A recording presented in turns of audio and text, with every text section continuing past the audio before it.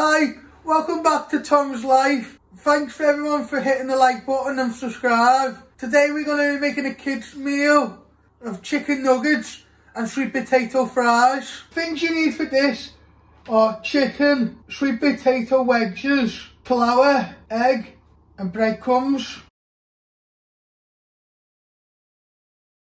First I'm going to get the chicken prepped and ready. To put the chicken in the food bag and then batter out.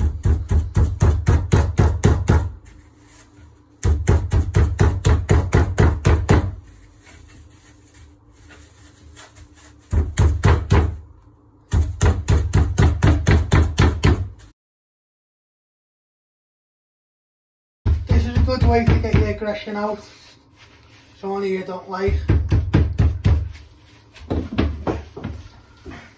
If you can see the difference, you need to have it flat like this one.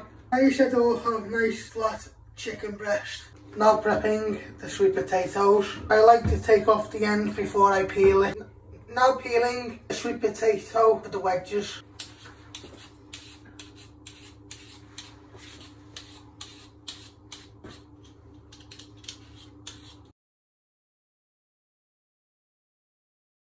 Now I'm going to chop the sweet potato into wedges.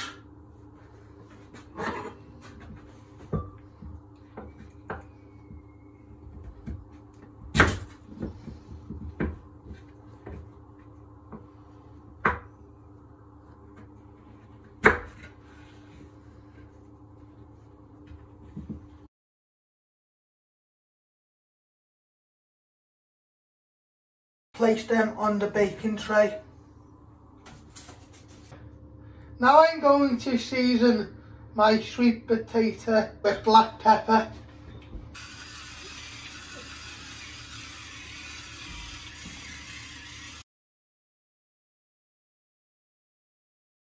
Alright guys, now we're going to preheat the oven for the chicken nuggets and the sweet potato wedges. Switching oven on by I know by the bump on and setting temperature. Next step, now to prep the flour, egg and breadcrumbs for the chicken. Two teaspoons of flour.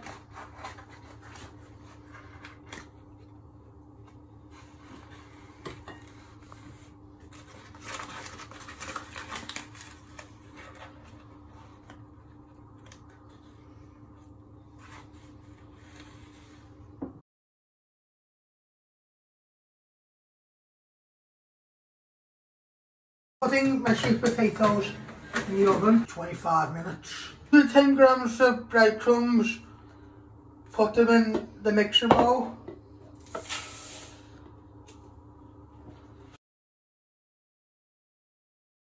Now I'm going to chop my chicken into chicken nugget size pieces.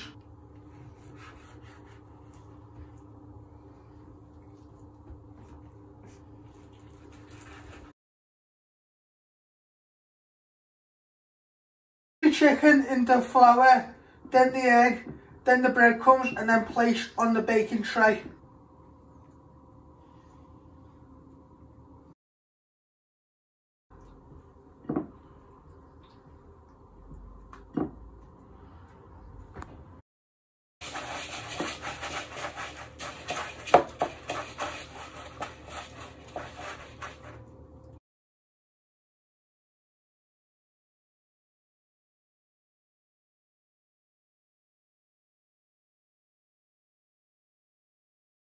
Now placing the chicken nuggets in the oven to cook for 25 minutes and keep an eye on them. Thanks for watching. Hit the like button if you like this video.